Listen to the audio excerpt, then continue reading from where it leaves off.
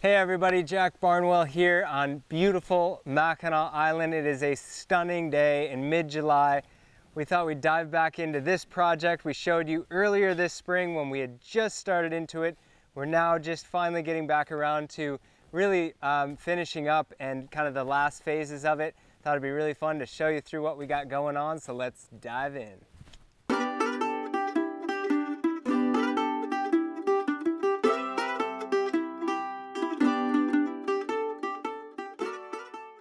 All right, so this project up here on Mackinac Island has been uh, pretty fun because we literally started this spring from a complete and total blank canvas. It's a newer home that just got built, just got finished this spring, and we were brought in to, uh, to landscape it out. In our last video, we showed you guys this place. We had the brick walkway done and, and some of the boulders set, but that's really it. So since then, we've planted all of the trees, We've put in the irrigation system, the lighting, the shrubs, the perennials, and now we're getting ready for the whole ground cover uh, installation and annuals and real finish work. And really that's the order that an installation like this goes in for us. So the trees go in first. We've got some beautiful birch, amelanchier, maple, some clump birch here. This variety is called White Spire. We use this one a lot. It's a really uh, stunning specimen clump there. Um, but uh, so the trees go in first, followed by the shrubs. That really creates the shape of the landscape and the planting, giving us our foundation and background. And then all the perennial drifts, as you can see, we got a lot of hostas, astilbe, a ton of ferns. As we walk through here, you'll see a lot of that. It's a real woodland style planting. And then um, the ground cover is gonna be going in. And as you'll see through here, I've got a bunch of different letters and things painted on the ground that represent different ground covers and different thoughts.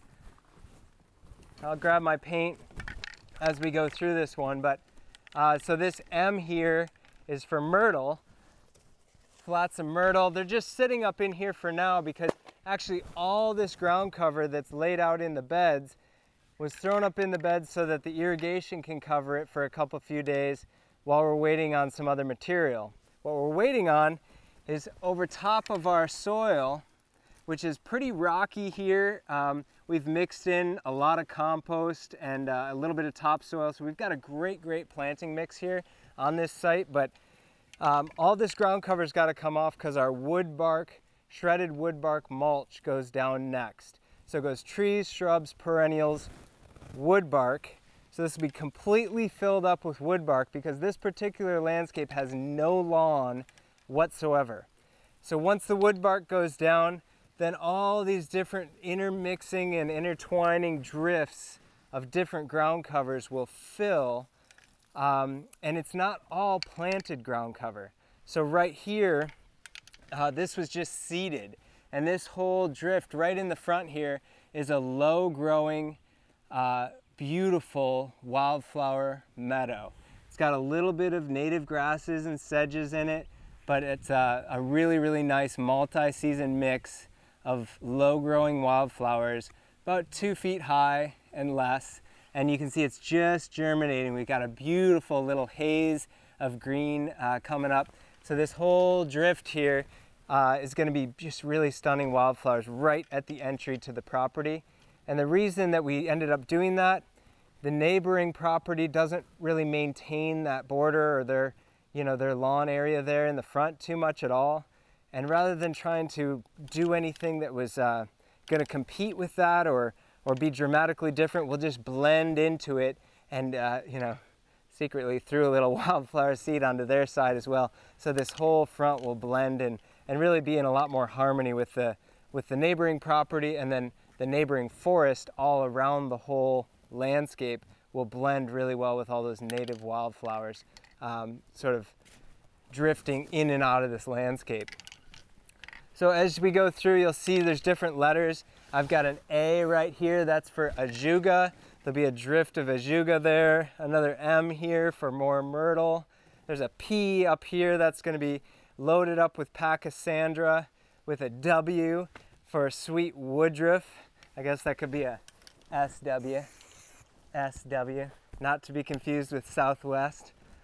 Sweet woodruff, I'll do a little sweet woodruff drift around that birch tree, which will be really, really pretty when it flowers white and dainty in the, uh, in the springtime.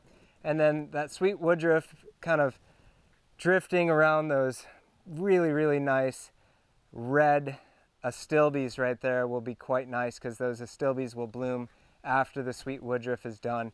And in time, these astilbes will easily be able to be divided um, and we'll be able to just make this clump of them get even bigger and bigger right through this little section here with the sweet woodruff as the ground cover. You'll notice all the perennials that we have in here are planted uh, a couple inches high right now. Um, and the reason for that is knowing that we have that mulch coming. So here we've got hostas, astilbe, they're all a little bit high and kind of floating up in because that mulch has got to come in, that wood bark, and fill all these areas before we plant that ground cover right into it. And really, this landscape will be so filled out and lush and gorgeous. Within a year, it'll look like it's always been here. Really, really impressive. And then, of course, beautiful brass lighting to light this nice pathway through the woodland here is going to be quite stunning. So as we go further toward the back, as you recall when we uh, did this walkthrough last time, I think I talked through some of these things that I was uh, intending to do here, but this um, mixed cedar hedge has lilacs dotted all throughout. These aren't that big, but they grow like a weed up here on the island. So we've got uh, three different varieties of lilac, dark purple, kind of your light purple and white. And uh, those are woven all through this cedar hedge and they'll just get big and wild and do their thing and kind of reach out over the, the, uh, the trail behind here and look really, really cool. Then in toward the back, that rock wall we showed you guys earlier. Um, once this gets finished out, this whole trailway around the property will be just wood chips, nice cedar, cedar mulch um, to, to keep a nice path around the house. And, uh, and again, these perennials are all planted out. We'll get that uh, wood bark mulch. And in places like this, it's really hot and sunny right now. And this particular location does get quite a bit of sun. I do have a drift of astilbe in here. I think they're gonna be okay, especially on irrigation and stuff. But you can see we've got more daylilies and hardy geranium and stuff, um, more sun-loving perennials, and there's more to come.